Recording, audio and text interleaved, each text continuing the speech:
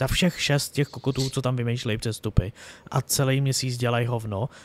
Mm, lebo všetci, všetci tak povedú, že finančná fair play, že kúpili hráčov za 700 miliónov, že ako môžu nakupovať. Jo. Hej, toto je jediné, na čo sa pozrú, ale nikto si nepozrie na to, že vlastne jeden Žoržíňo, jeden predaj Žoržíňa s polročným kontraktom rovná sa jeden rok Enza Fernandeza. Mm-hmm. ale ten klub prostě nefungoval tak, aby mohl fungovat dál i, i bez nich. Jo? Jasně, občas mu to ulítne, někoho se střelí prostě karty, už jich má asi sedm nebo kolik, ale tak je to defenzivní záložník, ale on hmm. neprohraje souboj, rozehraje ti. Jak to, že ho Fulham koupí za nějakých 18 milionů, víš co? Ale je mi ho i líto, já prostě Aubu nad, přihrál v Arsenalu, tak já jsem ho vždycky měl rád i v Dortmundu, i v tom Arsenalu, i když mu to proti Chelsea vždycky šlo a v té Barceloně hrál parádně, jako to sociálne. Tak je jednoduchšie asi pre nich proste si tvrdiť, že Chelsea je akože ojebáva, že toľko míňa peniaze, jak pochopí ten princíp, ako to funguje. Čau, vítám vás u dalšího podcastu a klasicky vás zdraví úderná dvojka Velká Práža. Ahoj. Ahoj. A jelikož si dneska budeme povídat o Chelsea a neb nový éře Abramoviče, tak zdravíme i Luba jako našeho klasického zástupce fanoušku Chelsea. Ahoj. Čau. Takže tak. Experta fotbal netradičně. Je, Slubo jako expert fotbal netradičně. Smlouvu jsme mu dali na 9,5 let. Děkuji. My jsme to amortizovali. Doufám, že každý rok dostanu za odměnu uh, nějakou, nějaký merch. A jo, a tak to vysichňuji už teďka spoustu. takže, takže tak, Vilko, o čem si budeme povídat? Uh, kromě toho, že Chelsea amortizuje své hráče, a Bailey je, ži, Bailey je člověk z budoucnosti. Tak kromě, kromě těchto dvou věcí si budeme povídat o čem. Na Hero Hero vlastně rozoberieme za mě dost takú, no asi to budeme brať s humorom, ale rozoberieme si takú tú stránku toho finančnej fair play z hľadiska možno iných fanúšikov, pretože sme minulý víkend videli dosť veľké útoky od Klopa, od Guardiolu, hlavne od Guardiolu to teraz znie veľmi vtipne. Pik, ty vole. Takže... Počkej, hele, po, pozrieme se sorry, ty... já jenom no? vím, že máme Chelsea a ne City, ale my jsme tady teď řešili to City a tady vydalo Sky Sport, co všechno může ta nezávislá komise udělat, udělat za tresty. Chcete to slyšet? Jo, jo, pojď, pojď, to si poslechneme rádi. Jo, pojď, Takže jo, jo, je to zakázat klubu hrát ligový zápasy do odvolání, asi než se to třeba vyřeší, odečet bodů, uh, doporučit vedení klubu, aby, za, aby ligové zápasy byly hrány znovu. To nechápu, jak vůbec by šlo udělat. Pičuje celou sezónu znova. no. Uh, uh, uh, tak, recommend to the board that the league expels nějaká blbost, tam ani nerozumím. Tak, nebo navrhnutí nějaký pořádkový kompenzace, to asi je teda pokuta, aby klub uhradil všechnu, všechen ušlý zisk, to bylo asi nějaký uh, možná procenta se zisku nebo těm jiným klubům, nevím. Uh, tohle je zajímavé. Zrušit anebo odmítnout registrace nových anebo nově příchozích hráčů. A Halanda zrušia. A jako poslední tady, že těch trestů může přijít víc na jednou a v řadě, jak se to bude té komisi jako pozdávat. Halus celkem. Počkej, ale takže tam není odebrání titulu zpětně. Není no. Kurva. Jenom, bo, no tak, tak je, tady, je tady odečet bodů, že jo, takže... Ale odečet bodů by bylo v letošní sezóně. No to může být zpětně. Těžko říct. Tak zpětně se. Těžko povedať, ale teoreticky by to mohlo být zpětně. Já zpětně, já chci, aby Mourinho vyhrál titul. No nic, tak ten tak... Suf, suvka. Yes, Takže prostě Guardiola letos bojuje o svůj první titul v Premier League. Snad, doro, snad dorovná Mourinho. A sťažoval sa vlastne médiám, že uh, vlastne Chelsea míňala a oni nemíňali. Je to, je to veľmi, veľmi vtipné, čiže pozrieme sa na tie útoky na Chelsea, či už od fanúšikov, alebo práve od uh, Klopa s Guardiolom. Pozrieme sa na kontakt pre Masona Mounta, stroskotaný deal Hakima Zieša, Havercovú budúcnosť, odstaveného Aubameyanga a máme tiež konečne aj Here We Go Kunku.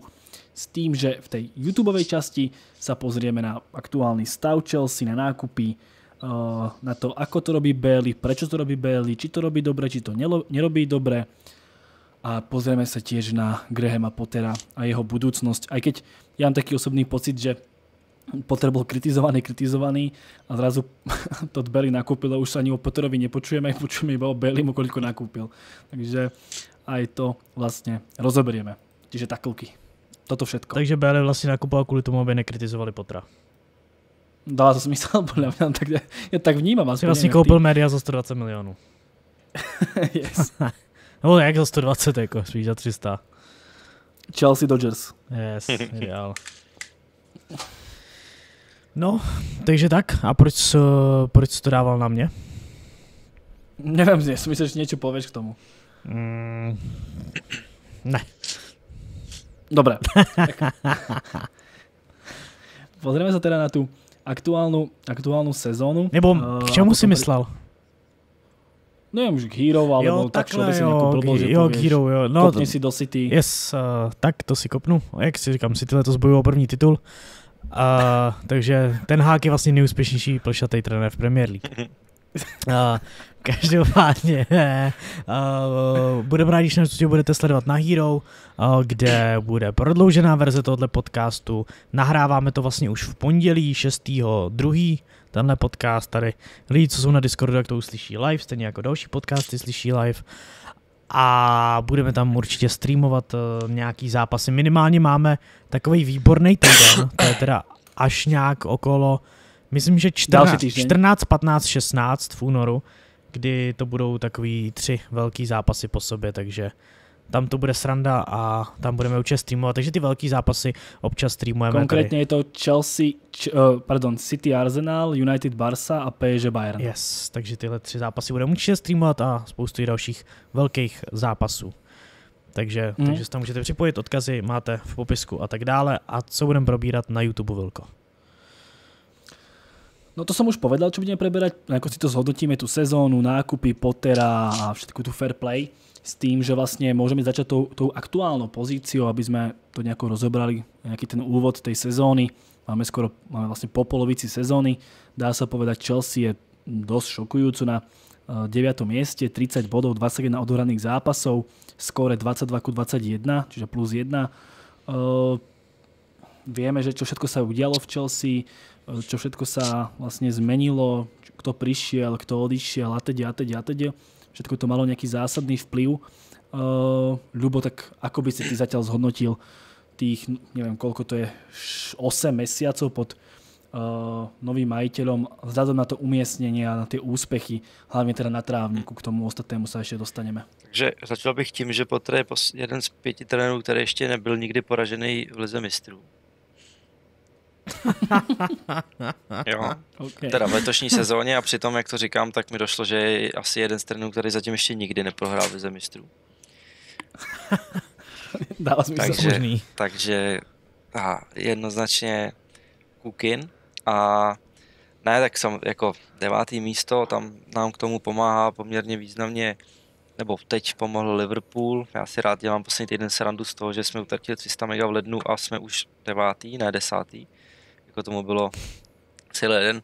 Samozřejmě uh, ta pozice je nic moc, ale asi bych to úplně neřešil, co se týká pohledem na tu tabulku, ale spíš tam, nebo tím, kam jsme se posunuli za, ty jsi říkal, 8 měsíců pod, pod trem, nebo 8 měsíců od nákupu, to spíš ne, protože tak nějak 8 měsíců, někdy v júni vás koupil. No a teď já ne, takže 8 měsíců nás pod určitě netrénuje, takže teď jsem se zmátnul sám asi. Ne, tak to je po, od to je pod jsem okay, sorry, to moje chyba, jasně no. Na začátku ještě tam byl ten Němec takovej, víte který, ne? Jo, Pamatujete jo. si na něj ještě. Slabý. No, no.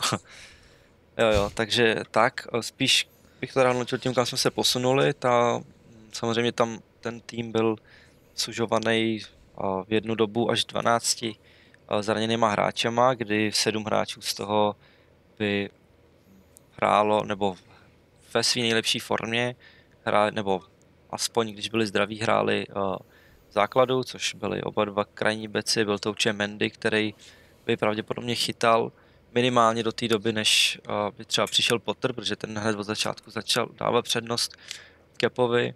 Uh, vypadli nějaký stopeři, posily, který přišli noví, tak se tak se zranili. Samozřejmě nejklíčovější hráč, což jsem už na několika podcastech říkal, že je smutný, že je pravý back uh, Reeves James, možná jediný poslední štěstí, který nám uh, přišlo, bylo, že aspoň 40-letý Silva je schopný prát zápas to zápas, což je pro mě nepochopitelný, protože mi přijde, že čím díl je v Chelsea, tak tím víc toho vydrží, což je dost paradoxní, protože naopak se u nás každý rozpadne, minimálně poslední dvě sezóny. Ale abych se vrátil k těm výkonům, uh, jako devátý místo nic moc, co mě ale spíš přijde ještě horší, je to skóre, kdy na jednu stranu je to super, Chelsea má třetí největší počet uh, čistých kon, celkově 8 Premier League, dostali 21 gólů, to není moc, uh, zároveň 22 gólů dali a to je tragický za kolik bylo kol, 18 nebo 19? 21. 21, což je útok na útok sestupujícího týmu v mých očích. Uh, prostě dát... To je, to je to, fakt. No, takže to je prostě šílený. Uh, ten poslední, nebo to období po mistrovství světa, který bych už řekl, že se potrdá hodnotit, co se týká výkonů, tak tam byla taková houpačka, samozřejmě po mistrovství světa asi spoustu lidí čekalo, že se nějakým způsobem vrátíme zpátky nahoru. Pravda je taková, že ty hráči byli furt zranění a ty, co zranění nebyli, tak prostě byli na mistrovství světa, jak tomu ve velkých klubech bývá. Zůstal v Kobemu Kukurel, zůstal tam Kepa, zůstali tam hráči mladí, Čalobak z Anglie nebo ty zranění, takže z toho prostě tým neuděláš, nebo minimálně ho nenastartuješ. Takže se vyhrálo, potom nějaká, nějaký nějaký remízy tam byly zbytečný. A až ten poslední měsíc myslím, že ta hra začala mít nějaký výraznější křivky, ať už je to vůbec způsobu hry nebo ustálení obrany, kde se chytly nějaký, nějaký posily, vrát, pomalu se vrát, vrací zase Rizims do, do obrany a, a nějaký statistiky za poslední čtyři zápasy jenom abych umocnil tu sezónu a možná ten důvod, proč třeba Chelsea není už šestá momentálně, nebo aspoň na, do, na dostřel třeba Tottenhamu, je ten, že za poslední čtyři zápasy jsme si vytvořili 15 uh, velkých šancí, náš soupeř dvě a víte, kolik to je na góly? 2-2. Jo?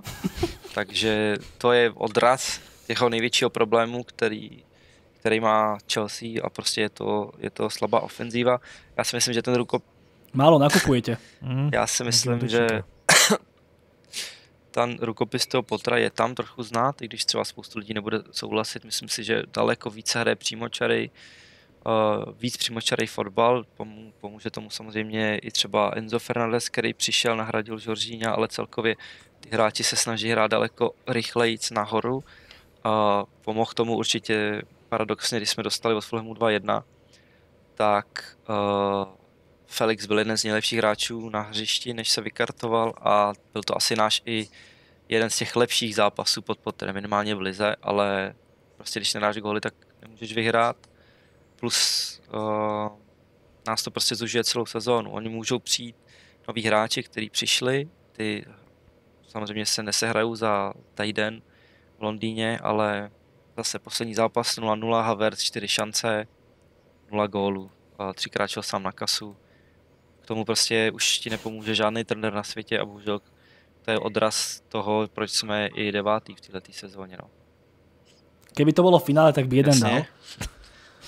Teď, zpě, teď zpětně vůbec nechápu, že se to stalo teda, když ho znám už ten třetí rok, ale to je jedno.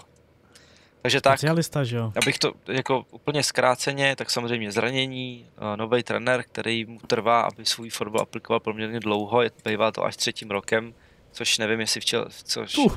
samozřejmě v Chelsea tolik času nedostane, ale taky na to dostal spoustu prostředků a svých hráčů, který si vybral. Není to jako, že Brighton si pomalu postupně vychovával nebo kupoval nějaký hráče, který potom naučil hrát ten jeho fotbal, když dostane 600 milionů, nebo máš klub, kde bylo utracených 600 milionů za v podstatě tři čtvrtě roku, tak, uh, tak je velká pravděpodobnost, že, že tam máš hráče, který chceš a který umí hrát ten fotbal, když tam trénuješ. Jo? to by bylo dobré, no. Takže, bylo dobré, bylo by to od věci. takže tak, takže uh, když se tohle dá dokupy, tak věřím, že se to ještě nahoru posune tou tabulkou, no. Třeba na šestý. Třeba no. Mne sa páčilo, keď si povedal, že, že teda trvá tá prestavba niekedy aj 3 roky, tak som si ty vole spomenul, že ty vole v United by už robili za 3 roky ďalšie 3 prestavby. My tak pravidelne každý rok máme novou no, ne. Nemyslím, nemyslím přestavbu, ale než ten klub jako, protože třeba to, co se děje teď, to se dělo i v Brightonu, že Brighton nebyl známý tím, že dával góly. A teď byla třetí sezóna a rozjeli prostě kolotoč v různých soutěžích a teď tam přišel Dezerby, který má poměrně zjednodušenou práci, je to ještě ke všemu ofenzivní trenér a ty hráči prostě najednou góly dávají. Teď si můžeme vzpomenout, co kámo Mopej byl schopný, ten jako nedal třeba z šesti penalt, jich prostě pět nedal a ještě zahodil tři velký šance. jo? Ale jako bez Jako srandy. to bylo legendárne vtedy. To bylo legendárne on, vtedy. No. Inak, teraz mi tak napadla úplne taká vsúka, uh, trošku preskočím teda tie témy, ale myslíte si, že by uh, Potter mohol byť v tom horizonte iba takým manažerom, ktorý tú éru rozjede a niekto na ňu naviaže? Že v úvodzovkách bude takým tým kontem v Juventuse, alebo já nevím. Ko, ko, ko, Chápete, že on to vůbec ten nerazil, základ? ten tam vyhrál tituly jako prace, že jo? Jo, ale víš, jak to myslím, Kurva, že, ak, to je skurvený rozdíl, ty vole. ale chápeš, jak to myslím, To že je spíš, vlastně spíš jako takový Mark Hughes. Ale to si, to si nemyslím, protože ty, ty investice do toho týmu, do, do, do těch ambicí, které jsou vložené do Potra, je tak obrovská, že kdyby přišel další trenér, který, že ten Potter není jenom ten, co sedí na lavičce, ale on má na sobě navázaný i ten uh, tým, který třeba teď pracoval společně uh, v tom lednu, teď, teď uh, dneska se přivedl mentální coach, který 15 let trénoval uh, rugby, Nový Zéland, Nový Zéland, takže to jsou všechno Mm. věci, které určitě vycházejí z Potter, že on sám říkal, že, na, t- že takhle rád pracuje, že má rád specialisty na různý, uh, na, uh, kurva, teď nevím říct to slovo, prostě na, Různý obory. přesně na různý obory, že on sám psycholog a říkal, že pokud najde správný lidi, tak uh, rád tu funkci přenechá jim a on se bude soustředit na fotbal, protože je hlavně fotbalový trenér.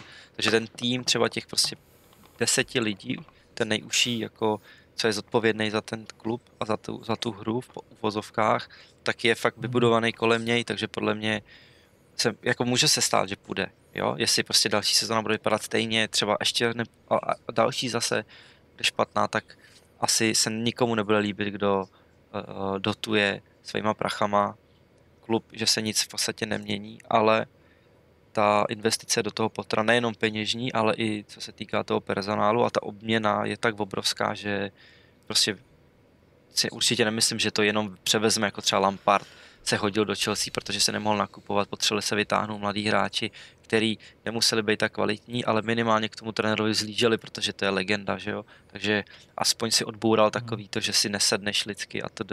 Jo.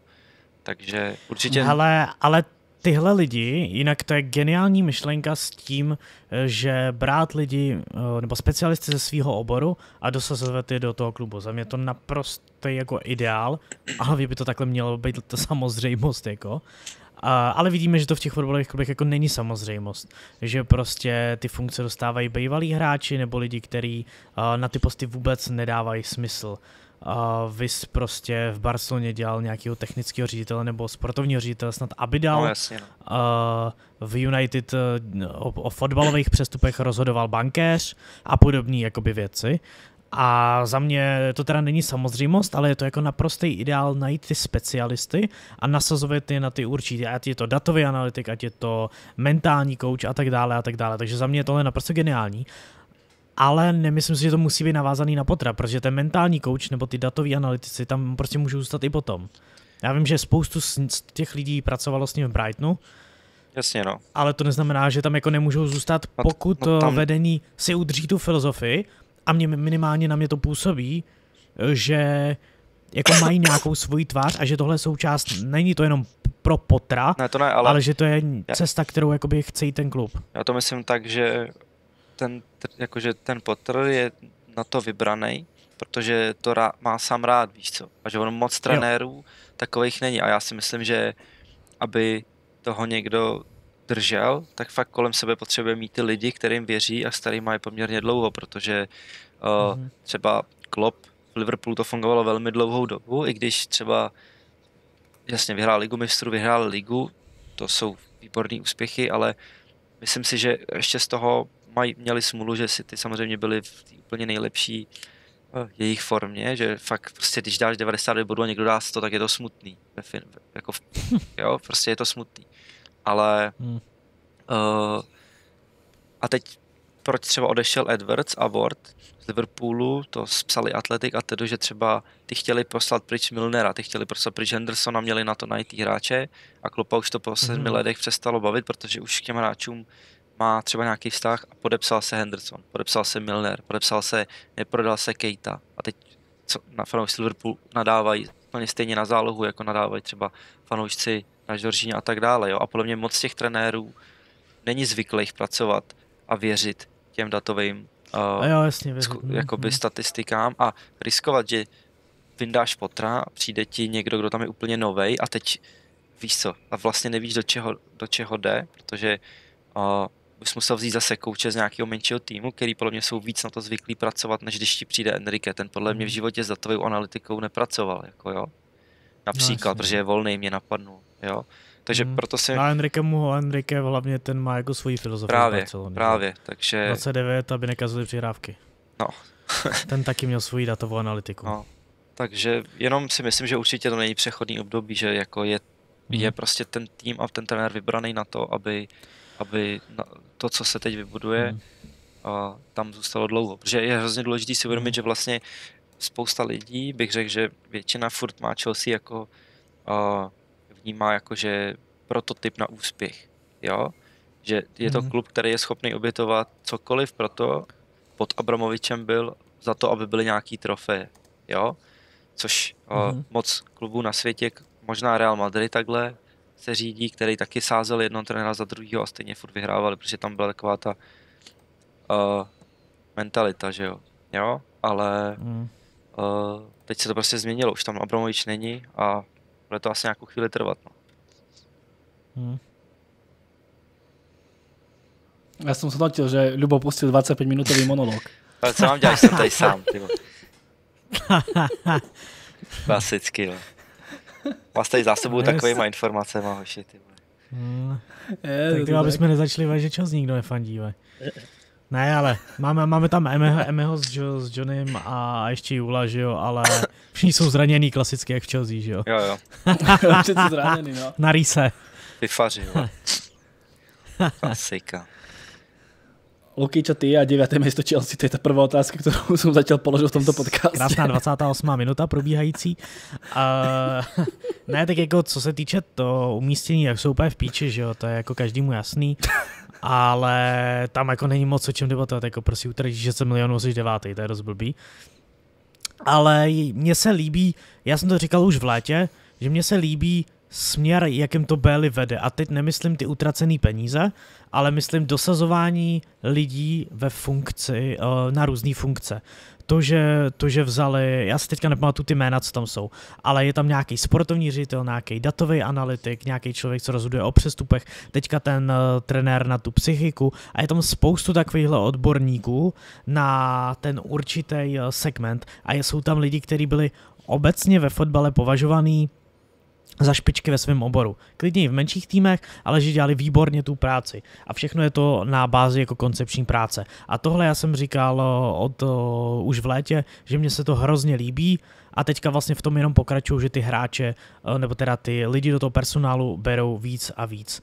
Uh, jestli to nakonec bude úspěšný nebo ne, to ukáže čas, ale mně se minimálně tenhle způsob myšlení líbí. Je to hodně drastický, hodně brutální, ale asi kdybych eh, byl já Bélim, tak jdu hodně podobným stylem, co se týče toho personálu v tom klubu.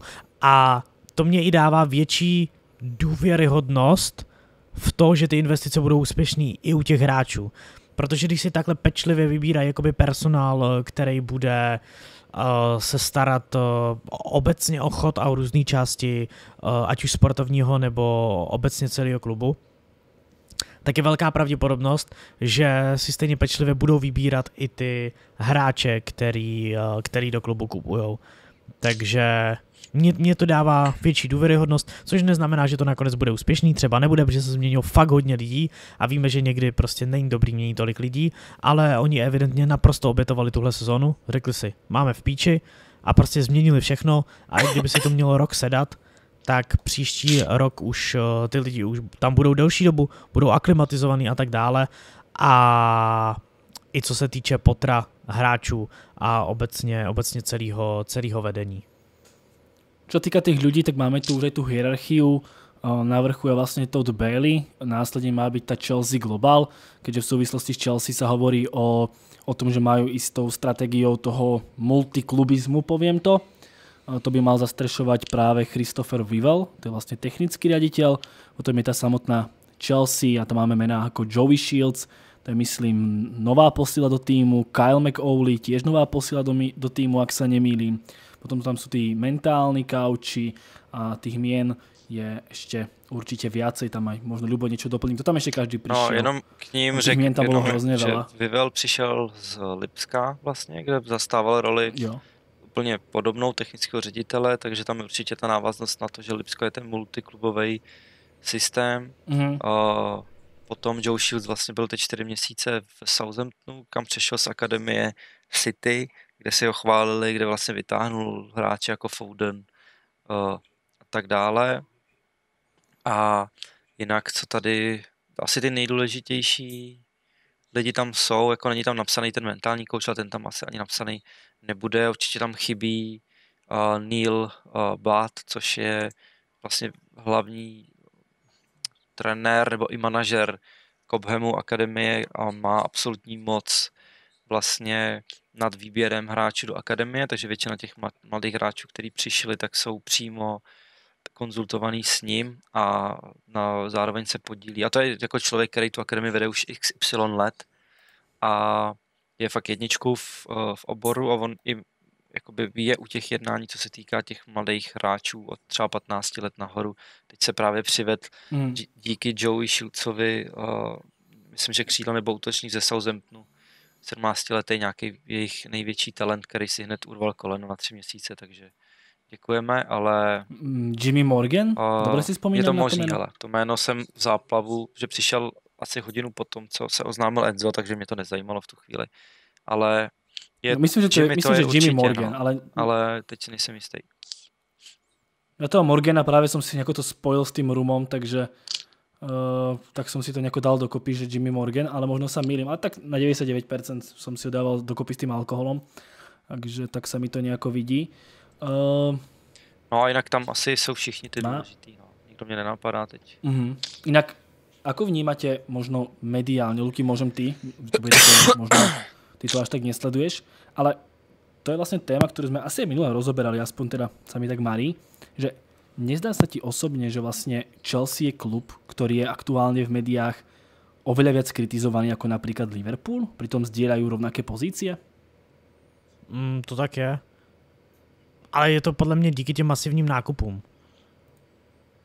Nic jiné? No, samozřejmě, potom jsme řešili ten klop a tak, jako nějaká ochrana Liverpoolu, a to tam prostě je, jako reálně, kdyby takhle v píči byl United, no, no United, tak by, tak by to byla úplně pohroma, nebo víme, jak United desátý, snad nevím ani, jestli někdy vůbec byli desátý, jako také delší dobu v Lize, a myslím v nějaký té novodobé éře, ale i když to bylo okolo toho 6. 7. místa, tak to byla brutální kritika, všechny vyhazovali a tak.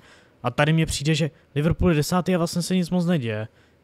Prostě pohoda, jako fanoušci Liverpoolu to kritizují, ale média jsou vlastně docela v klidu, zatímco Chelsea je hrocená mnohem víc. Teď se to hodně ustálilo, teď jakoby, teď Chelsea vlastně zase ztratila, ale nějak extra to jako neřešilo, protože se řeší ty přestupy. Ale myslím si, že dávám tomu tak měsíc, měsíc a půl a oni dozní ty přestupy Mudrika, ty, ten přestup Enza a tak dále dozní. Začnou se hodnotit výkony Přesně těch hráčů. tak, začnou se hodnotit ty výkony těch hráčů. Takže teď bych neřekl, že je Chelsea nějak kritizována za výkony. Naopak ty výkony jsou podle mě totálně v zapomnění momentálně a řeší se jenom ty přestupují částky, ale eh, vlastně v prosinci nebo na začátku ledna, tak byla Chelsea jako brutálně kritizovaná v médiích, zatímco Liverpool eh, byl vlastně v pohodě a pod tou ochranou rukou. Mm, čo očakávate od tejto sezóny Chelsea? Čo by mal byť takým uh, minimálnym cieľom, ako nejaká európska liga, či úplne sa vykašľať na tie európske poháry a radšej si ťukať nejakú, nejaké to 9. miesto a kašľať na to, možno niečo uhrať v Lige majstrov.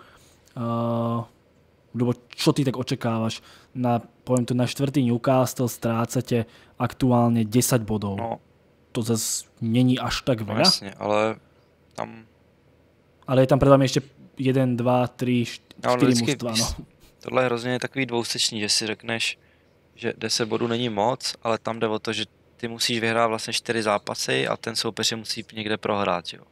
jo? Prehrát. Což uh, úplně nevím, jestli Newcastle jako má v plánu a stane se mu to, protože prostě on ty zápasy jako neprohraje. Newcastle neprohrává. Přesně, tak ono, když honíš uh, jako body, tak jako samozřejmě může ten jeden bod hrát roli, ale ve finále ta remíza taky asi není ta, co by ten Newcastle úplně chtěl, takže nevím, jestli uh, budou všechno vyhrávat, ale myslím si, že rozhodně nebudou nějakým zásadním způsobem prohrávat. Takže vlastně, i kdyby třeba remiz, no to je jedno, to už tady zase budu, ale když teď nedávno někdo říkal rozhovor, teď nevím, jestli to byl Potter nebo někdo z vedení, že, douf, že očekávají, že ty posily, nebo prostě to, co bylo teď s těma hráčema, který má, takže by, by jim to mělo pomoct k umístění k té top 4. Uh, já si myslím, že to bude ten já si myslím, cíl? že to reálný je, ale nevím, jestli to je cíl jako klubu, protože už je vlastně polovina zápasů za náma. Uh, ty týmy, je to takový zajímavý, že vlastně uh, se ani úplně nedá říct, kromě Arsenalu a United, který vyhráli snad 12 zápasů doma v řadě, kdo má nějakou extrémní formu. A Newcastle si teda drží furt ten standard, ale to je furt tým, který je schopný prostě vyremizovat s nějakým týmem dole. Nevíš úplně, jestli porazejí tu top 6 nebo ty tu, tu top 4 minimálně. Takže tam je to, jo, to tenhle dvě kola, nic moc, potom porazejí City a tak dále. Jo, takže za mě, uh, podle mě do, když budeme na pátém místě nebo šestý, pátý místo na konci sezóny, tak, tak bych byl vzhledem na ty okolnosti asi spokojený, no. Ale vlastně jako hmm. tam vždycky je jenom jako ta liga mistrů, já si myslím, že tomu týmu to ubere zejména prostě ty finance, jo, že se to dá přežít rok bez ligy mistrů, tak stejně vyhučíš ve čtvrtfinále, v semifinále maximálně, to už je prostě dobrý run, takže klidně v osmifinále. Ale ty peníze a ten les k té ligy mistrů třeba i pro ty hráče, když se začalo psát, že Rice může chtít jít do ligy mistrů, by si třeba vybral Arsenal, že jo. Takže, ale za mě pátý, šestý místo je, je dobrý po tom, že po, po tom, co jsme na začátku února desátý, devátý. Luky, čo by mal byť pro teba pre Chelsea cieľ, čo je pre teba reálne a aká strata bude ten, ten prípadný neúspech, ak teda neočekávaš Chelsea top 4? Uh, podle mě cíl by měla být Evropa. Uh, ta Liga mistrů je relativně... Evropa znamená? Evropa znamená Evropská liga. Top 6? Jako. Takže páté město. To, jo, ne, nejde tam i šestý do Evropské ligy? To se musí poposouvat iba skrz poháry, ale oficiálně tam jde iba no, Vzhledem na to, že jo. FA Cup ale vyhraje United. Kdo tam je? City, ne? United City jsou? Ne, United Newcastle. To je FL Cup. No jasně, ale v FA Cupu kdo zůstal? City, tak z těch velkých týmů je tam United, Tottenham, je tam City. Ne? A Tottenham A ty, když vyhrajou, což si myslím, že vyhraje jeden z nich 100%, to se nevím, kde naposled stalo, aby FA vyhrál někdo slabší. Naposledy Wigan Vlastně Leicester City. vyhrál, no. Na Chelsea. Aha, Leicester, no. A Arsenal. Ale tak když jeden z těch týmů bude tam, tak a je, bude v lize mistrů. Ale to tenhle nemusí být v lize mistrů, no. O to je jedno, to už je spekulativní. O to je jedno pátý, šestý místo, no. Tak se to posuně. Hmm. O, jo, takže dejme tomu nějaký pátý, šestý místo si myslím, že pro Chelsea by měl být ten reálný cíl, na který teďka furt jakoby ztrácel, není ta ztráta nějak markantní, ale myslím si, že možnost tam je klidně i na ligu mistrů, pokud by se jim začalo brutálně dařit. Za mě obrovský neúspěch je jakoby cokoliv za šestým místem. Souhlas.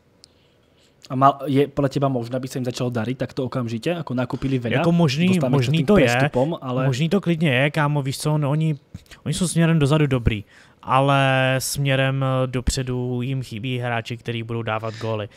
mohlo stačí, aby se jim Kto bude dávať goly teraz? No stačí, aby se jim chytl Mudrik, že jo. Za, Víš, že stačí, aby si chytl Víš? Mudrik nebo, nebo Enzo, Enzo tomu může ranec pomoct.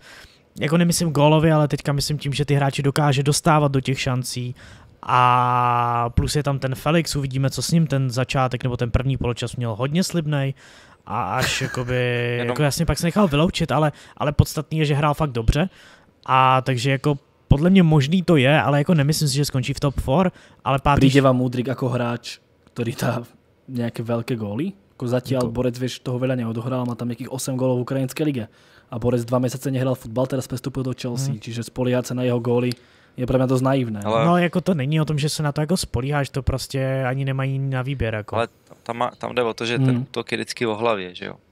Jo, že no, o, je spoustu, mě napadá prostě Vinicius, který úplně kolísá a zvedá se s tím, jak má v klidu hlavu. Jo, loni byl reál na vlně, Vinicius jeden z nejlepších hráčů možná na světě, letos se furt někde řeší s fanouškama proti hráče, bla bla bla a je vlastně nic moc.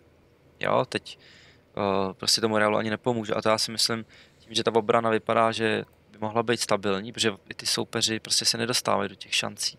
To jsou góly z úplného ničeho, samozřejmě se počítají, jasně, vždycky k tomu jde nějaká chyba, ale v tom útoku stačí tak to je to klasický kliše, jeden, dva zápasy, aby se ti ty hráči chytli, ob- někdo se dostane do formy a seš, uh, seš tam prostě, jo, kdy my jsme postráceli třeba 10, 11, 12 bodů jenom na tom, že prostě nejsme schopni zakončit ty, ale to jsou extrémní šance, že prostě ti Frér jde třikrát sám na kasu no, proti Fulhamu a nic, jo, dokonce mladý Fofana netrefí prázdnou bránu, dělá kličky, že jo, pak mu to tam vykopnou z brankový čáry, takže to jsou věci, které jako já si myslím, že Chelsea má na to, když se ty hráči vepředu chytnou, aby se dostali do top 4. Spíš si myslím, že ty týmy, co už tam teď jsou, tak to nepustějí. Jo, Mhm. mm-hmm. protože máš, Mhm. vem, Ja si osobne veľa sľubujem od Chilvela a Jamesa, Jasne. ktorí pravidelne prispievali veľkou porciou gólov. víš co, vem si, že ti zbyde jedno místo na ligu mistrů, protože Arsenal City United jsou jasný. Do, dobře, může se City stát něco ohledem trestu, uvidíme, ale prostě pak máš, pak Do máš prostě. Newcastle, Tottenham, který mají 10 bodů náskok a těž, těžký, no. Jako já si myslím, že o, je možný se tam dostat, ten klub jako takovej, ale ty kluby, co už jsou před ním, tak mají bohužel prostě karty ve svých rukou, no. Ještě může promluvit do toho Liga mistrů nebo nějaká jiná evropská soutěž, protože to ten má Milan, to vypadá, že půjdou dál, Bayern se vystříská s PSGčkem, Liverpool se vystříská s Realem, i když nejsou úplně v pohodě, ale, ale prostě. Real tu ligu mistrů, že jo, je to jejich, Liverpool si myslím, že se taky asi zaměří spíš na tu, na tu ligu mistrů, takže uh, těžký, no. Odhadnout. Mhm. Zase na druhú stranu, že majú to vo svojich rukách, ale nikto neutratil toľko, koľko oni. A K tomu sa ešte ale dostaneme, ale ty si načrtol tú Ligu majstrov, tak to ma, to ma zaujíma. Luky, dvojzápas s Borussiou Dortmund, ako sa k tomu postaviť z hľadiska Chelsea. Kádr majú široký, to by nemal byť problém rotovať. Uh, Hmm. Ako sa k tomu pre teba postaví Chelsea? Čo by mohli mali uhrať a hrať to, nehrať to, šanca vyhrať? Tak Ako to vidíš ty v Lige majstrov? Ty vole, Nehradcovi byli úplný idioti, že jo. Jakože to je podle mě jako ta priorita, která by měla být jako pro Chelsea, Liga mistrů. Protože to furt soutěž, kterou jako můžou vyhrát, je to, je to prostě na dva zápasy, ne, nemusí tam nic dohánět. Los jako Dortmund by měli přejet. Jo, to jako vypadnout z Dortmundem by bylo fakt blbý. Takže tam by stop jednoznačně jako měli jít dál. Ale vzhľadom na tú formu, ktorú majú, No jasně, vzhledem na tu formu, ale Dortmund taky není nějak, extra nějak jako letos dobrý. A, a nevím, jako, jako prostě Dortmund by měli přejet. Nebo minimálně postoupit, takhle, minimálně postoupit. mali by, vieš, mali by prejsť aj Fulham a neprejelo sa. Ale-. Jo, no, Ale tak jasně, za mě- no, ale, ale minimálně. Za mě právě zápas Dortmundem může být ten, na kterým se dá nakopnout, protože oni v té obraně jsou teda hustý dozadu, já jsem na ně nedávno koukal, abych věděl dopředu a tam se dějí hustý věci, ale Ako hustý, že katastrofálna obrana? no jakože prostě taková ta Bundesliga, tak ta obrana je, jako je to slabý za mě, ta obrana jejich, jo, což o, prostě obrana Fulhamu jako slabá není, víš co, když je to Fulham. Oni mm-hmm. uh, v podstatě nepřijeli vyhrát. Oni přesně věděli, co mají hrát do nového týmu, že jo? Nechápu. A to jsou strašně, strašně, strašně těžký zápasy. Já vím, že to pro ty lidi, co třeba nesledují to Premier League tolik, zní směšně, že prostě neporazíš Fulham, ale je to, když nejseš úplně v pohodě, je to náročný, no. Ale jako zase Dortmund má šest vyhraných zápasů v řadě. A bude se hrať fotbal, no to bude důležité. Právě, no. Jakože, no, nevím, jako vždycky, když byla horší sezóna v Lize, tak ta Liga mistrů poměrně to klopila Chelsea zpátky, takže já si myslím, že to můžou být právě ty zápasy, které to pomůžou nakopnout i do, do, do té ligy. Luky Graham Potter vítěz ligy majstrov, nezní to šaleně? no, jako zní, zní, zní, jako nemyslím si, že by Chelsea měla vyhrát ligu mistrů, ale stát se může cokoliv. Ale zase to má tam nějakou optimální formu v té ligy majstrů. Jo, ale beru to i s ohledem na, na to, že třeba Buddy Ashile nemůže hrát, že si bude hrát v obraně jako Koulibaly. To není mm-hmm. úplně ideální. A, a obecně si nemyslím, že zrovna Potter je jako víš, že třeba s Tuchelem to vyhrálo OK, ale podle mě jiná situace. Ale ve finále proč ne, jako Chelsea tehdy vyhrála Ligu mistrů s Bertrandem v základu, takže možný hmm. je všechno. A ještě na křídle. Hmm. Takže možný jako no, je všechno, nějak... no. Ale minimálně jako je jistý, že ta Liga mistrů by pro ně měla být priorita, protože oni můžou dojít dál a a v té lize bude jako těžký dostat se do té top 4, takže myslím si, že jít co nejdál v lize mistrů. Hele, s dobrým losem, co můžou porazit Dortmund, uh, co když dostanou ve čtvrtfinále nějaký dobrý los, tak najednou jsou v semifinále, tam už se může stát cokoliv. Tak je, je tam šance dostat dobrý los, no. lebo některé dvojice jsou také, nechcem povedať, že no, zlé, Benfica má Brugy, že jo? Nájdeme v té ligy majstrů No právě, no, no právě. Brugy Benfica, pak to Mila, Pak přesně, máš to jsou... uh, Milan s Tottenhamem, to taky není úplně uh, Conte v té mistrů nic moc nikdy neudělal, že jo? Když teda... Hmm. A Milano jste prejeli v veľa lepší formu, jaký jsou aktuálně. Právě, no. PSG se vystříská s Bayernem, to tam ještě je. Arsenal tam není, že jo?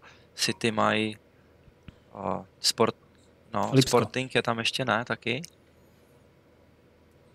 Je tam Inter Porto? Porto? To taky si myslím, že není jako je v klidu. Právě, Nebo v... je tam hrozně hratelných jako týmů, takže oni reálně ta Chelsea fakt může jít dál a najednou budou v semifinále, no a pak už se jako může stát cokoliv, že jo. Jo. Mm.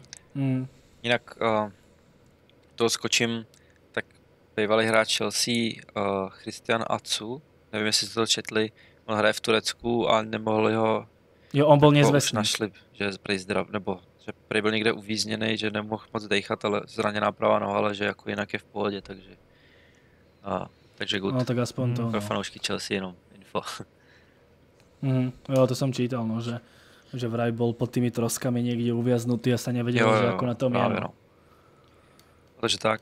Takže za mě ta Liga mistrů letos je mega otevřená, protože vlastně uh, tam není ani jeden tým, který opanuje podle mě nějakou extra formou, si myslím.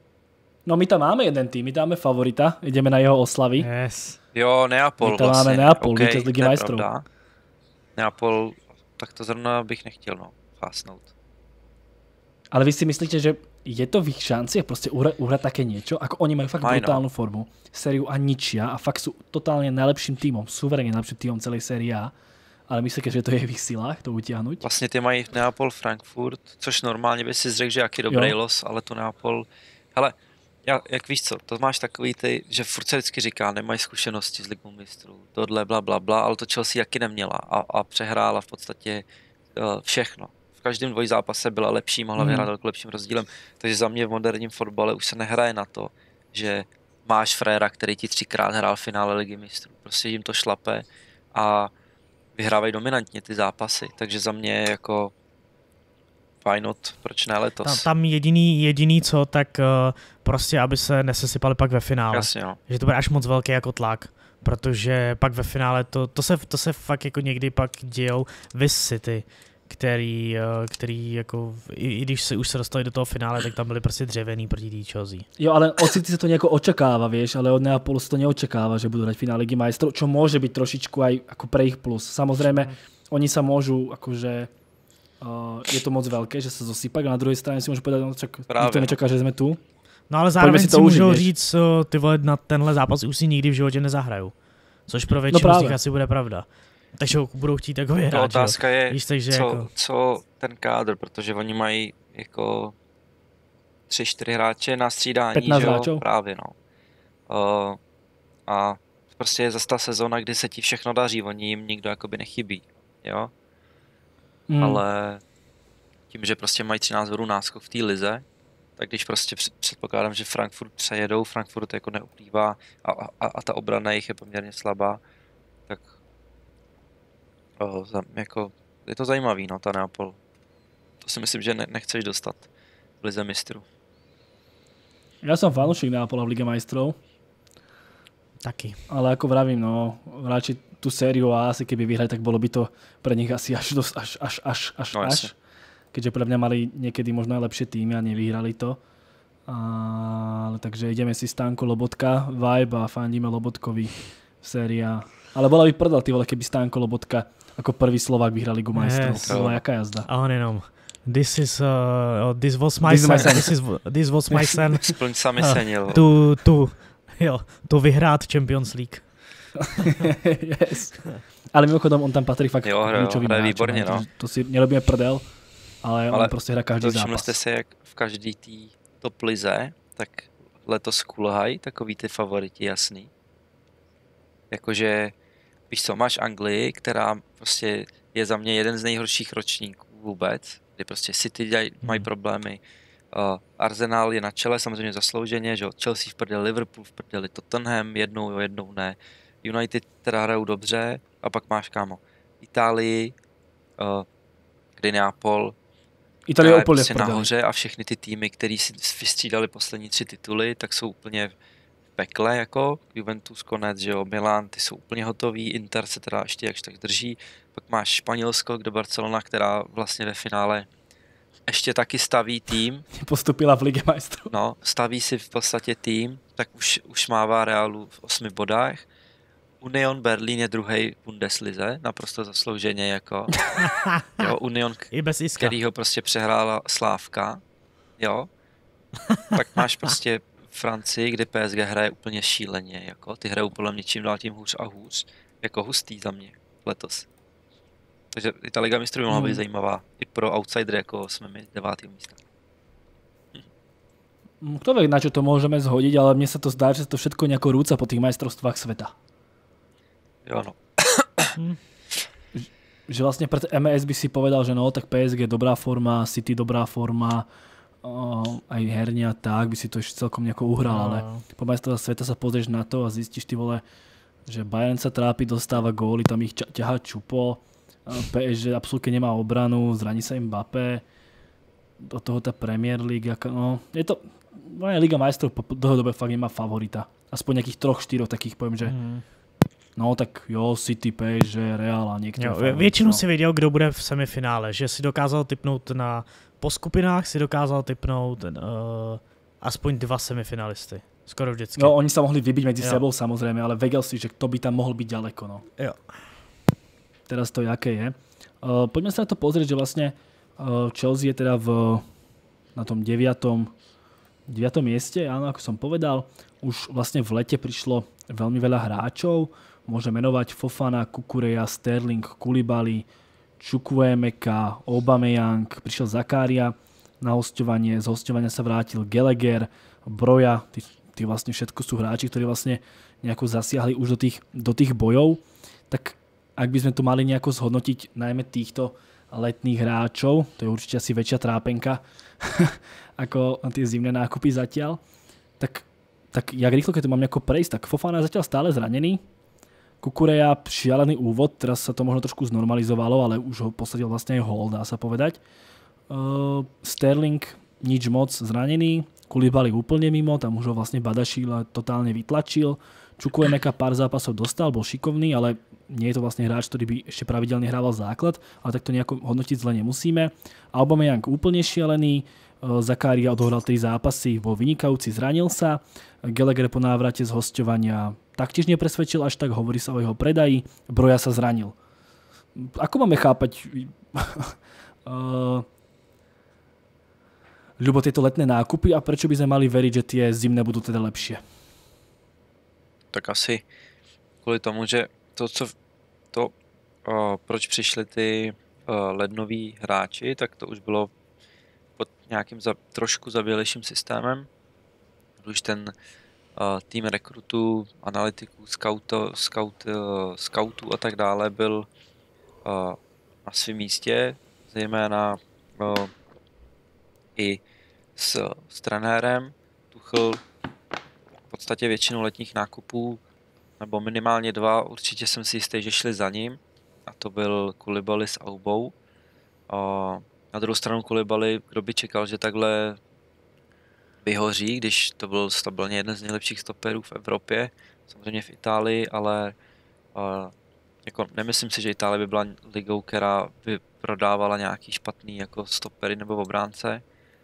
Uh, Fofana to se vědělo hned od začátku, že měl být hlavní přestupový cíl na stopera, uh, ale nejdřív to vypadalo, jakoby, že se neprodá, potom nakonec ho teda koupili velmi draze a, a tak no, prostě jako je tam vidět ten rozdíl toho, že někdo se nad tím zamyslel, že ten trenér si vybral, co chtěl a toho, že Tuchl je ten trenér, který spíš volí ten okamžitý úspěch a koupil si vlastně zkušený hráče, který mu možná v jeho fotbalu by byli schopní uh, pomoct, což je Kulibali s Aubou. Zakaria, za mě to byl přestup hodně na poslední chvíli, takový ten, který bych spíš typoval na vedení, uh, býva, bývalý vedení, ale Tuchl ani si myslím, že ho možná nechtěl, že ho prostě koupilo to nový vedení, protože Tuchl se nechal slyšet během léta, že je obran, teda, že záloha je v pořádku, že tam je dostatek hráčů a že žádný jiný záložníky uh, nepotřebuje. No a pak se vrátili kluci z akademie, no, tak pod Gallaghera prostě to se vždycky hrozně těžko posuzuje, když těm hráčům sedějí ty menší kluby v té Anglii a jsou schopní tam hrát neustále non-stop a najdou si tam tu svoji pozici.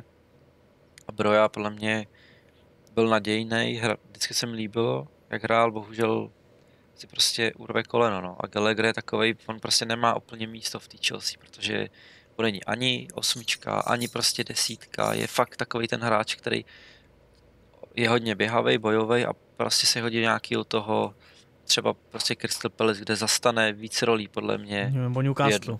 Nebo třeba, jo. Uh, kde ten Gordon teď byl, já jsem na ten zápas koukal a hrál teda velmi dobře na to, že já bych teda za něj ty peníze rozhodně nedal. Uh, takže jsou prostě týmy, kam se ty hráči hodí víc a bohužel v Chelsea je spoustu hráčů, který, nebo spoustu je víc hráčů, který nehrajou úplně na tom svém postu a nehráli ani tu minulou, ty, ty dva roky pod Tuchlem a pak se to projevuje prostě na jejich formě a tak dále. Ale nevím, proč nevyšly ty nákupy. Kdyby mi v létě řekl Kulibali, tak ti řeknu za 38 milionů liber, samozřejmě vysoký plat, nic moc, ale jako nepochyboval bych nad ním. Já jsem z toho měl radost, že přišel. No.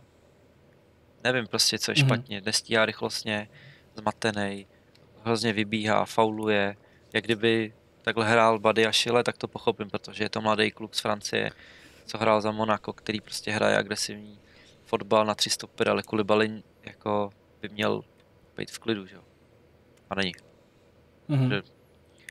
Luky, čo ty a ty letné nákupy? Nevím, či to máš před sebou, alebo... No, ne, nemám, vymenovat? ale tak nějak si pamatuju, kdo přišel, ale prakticky skoro všichni jsou Jo, v píči, a promiň, že? ještě jako, Kukurela, to je, to je prostě smutný, no. Bohužel. Tam vím, že ty, tu sezónu jeho nejlepší tak měl čísla jak James, akorát, že na levé straně. Spoustu lidí si myslelo, že Chilwell vlastně přijde o, o místo, když přišel a a dal se trošku no, Kukurela dokopy, ne? Ale on, prostě za, on třeba na Liverpoolu byl nejlepší ze všech a teď hraješ na Fulhamu a hoříš prostě. A co tady je zajímavá statistika, mm-hmm. teď vydal, nevím kdo, možná Atletik, uh, že má jenom z těch nahrávek, co má, co kdy uh, poslal, tak jenom pět jich našlo cíl v soupeřově vápně, jo? Uh, takže mm. prostě řeknu, poslal třeba, nevím, 200 nahrávek za zápas, možná 250 a z toho pět jich našlo uh, ve vápně soupeře, jo. A i tak má dvě asistence, což je mimochodem nejvíc týmu v Premier League, což je teda smutný, jo. Ale uh, Zase na druhou stranu tady někdo dobře píše v chatu, on přišel, schopnul 5 kilo uh, nemocnici, protože měl nějaký záněty nebo něco takového, pak prý řešil něco hodně osobního v rodině. Uh, ani se nespekulovalo, co to bylo, jestli nějaký třeba umrtí a tak dále, takže prostě zase přijdeš jinam, máš uh, nemoc těžkou, potom jsi zraněný, teda zraněný, máš něco doma. Jsou to taky faktory, které ti rozhodnou, ale prostě je to málo za mě. On zahraje dobře, pak zahraje špatně. Prostě je to, ne, nevyhodí 70 mega, aby si hrál jednou dobře, jednou špatně, že jo. Což není jeho chyba samozřejmě, že jsme to za něj zaplatili. Tam se asi platilo navíc i to, že Colville zůstane v Chelsea a že ho nemají na něj odkup v Brightonu. Ale je to zatím zklamání, mm. no. A to jsem se ho teda zastával ještě do mistrovství světa, protože mi to přišlo, že má navíc, zatím to úplně nedokazuje, no. Mm-hmm. Luky? Ako to jako to to leto? Jo, obecně Lubo to zhodnotil jako dobře. Jo. Drtivá většina těch přestupů jsou úplně v píči, jakože třeba Kulibali je prostě šok pro každýho, ale těžko ten přestup budeš kritizovat. Prostě všichni jsme čekali, že Kulibali přijde do Premier League a bude hrát velmi dobře. On vypadá jak Maguire. To je fakt šílený. Jako, no, ale to reálně... Jakým stylem on bral? Bych ho vyměnil za toho Maguirea, protože když se, ty se podíváš na 20 letý nebo 22 letý šel, co on převede s míčem a teď co, mm-hmm. co když nahraješ kvůli Balimu, tak to je prostě, to je Lukaku na stoperu, jako jo, protože mm-hmm. ten to úplně jako všechno se mu odráží, on to odkopává, nic nespracuje a přitom on jako nikdy neměl prej mít problém s nohama. Neříkám, že jsem sledoval nějak extrémně Neapol mimo jako ligu mistrů, jo, ale mm. hrozný, no. Mm. O, zlat, to, je, to je taky možný nějaký tlak na míč, pressing a takovýhle věci, ale jako Maguire taky není zrovna. On má dlouhý... Máme aspoň nadpis, že výměna Maguire Kulibali. Asi. Takže, takže jako Kulibali to je úplná tragédie. Uh, a vlastně většina těch hráčů je úplně mimo, ale neřekl bych, že kromě Auby, že by nějaký přestup byl nějak extrémně mimo. Zakaria si myslím, že přišel kvůli tomu, že se zase zranil Kante, jo, jo. takže na poslední chvíli se vzal eh, Zakaria jako záplata prostě na rok. To je hostování, tak to nemusíme no, řešit. No, Hrál ještě dobre, keď hrál. Jo, jo, jo. Ale nemyslím si, že některé ty přestupy byly, byly vyloženě špatný. Třeba příchod Sterlinga jsme taky chválili před eh, sezónou, ale potřebuješ, aby mu někdo taky k němu dostal míč, jo. A zároveň Sterling, za mě Sterling bude dobrý v momentě, kdy druhý křídlo bude tahový. Že například, kdyby Sterling hrál s Hazardem, tak si myslím, že Sterling bude mít brutální čísla. On, on je, on je golový hráč. Doklepává do brány, no. Prosím? Doklepává do brány. No jasně. On je fakt, to on, on má výborný, jakože, no prostě bez míče je výborný. Má výborný výběr místa, ale a on samozřejmě umí obejít hráče, ale není to vysloveně jako dribler, i když tak eh, vypadá postavově a tak. On je takový jako uh, poucher na křídlo. Ale, ale ono... A, jste... a potřebuješ ho... No. Nejenom, že Sterling, víš co, odehrál nejlepší zápasy, když prostě za tebou hraje James, jo. jo? No jasně. Ono, právě, když, pak, to, když si pak, střih, když si pak no. prostě střihneš dva měsíce s Aspim, který je fakt strašný, šílený, ten už tam hmm. dávno neměl být, nechápu, jak se mohli odmítnout tu Barcelonu, a nebo prostě s Čalobahem, který není uh, pravý back, anebo prostě s Kukurelou, který samozřejmě tam lítal jak splašený, anebo se pak, hmm. pak tom se prostě z toho zraní, jako tam je Sterling je furt dobrý nákup, samozřejmě má astronomický plat, ale to je prověřený hráč, ten jako potřebuje přesně, jak říká, jako Luky k sobě někoho, kdo ho trošku odemkne, že jo? což samozřejmě Puliší s Havercem hmm, hmm, hmm. a s Mountem bez formy bohužel to, není. To asi úplně ne, no. Ale, ale právě není to přestup, který by se vyloženě jakoby dal kritizovat. Souhlasím, Sterling bude skvělý, hlavně s příchodem Jamesa Chilwella, mm. tam mhm. bude dostávat kopu centrov, kopu lop, tam on to dá. Já si taky myslím, že on bude právě produktivní a že by tam mohl být dobrý. Na druhou stranu bude mít prostě těžký udržet se v základu, protože při té konkurenci je tam, je tam Mudrik, vrátí se Enkunku, nebo ne vrátí, ale přijde Enkunku v létě, Mount a tak dále, je tam prostě ranec hráčů, takže to bude mít i on složitý, ale myslím si, že by mohl být dobrý.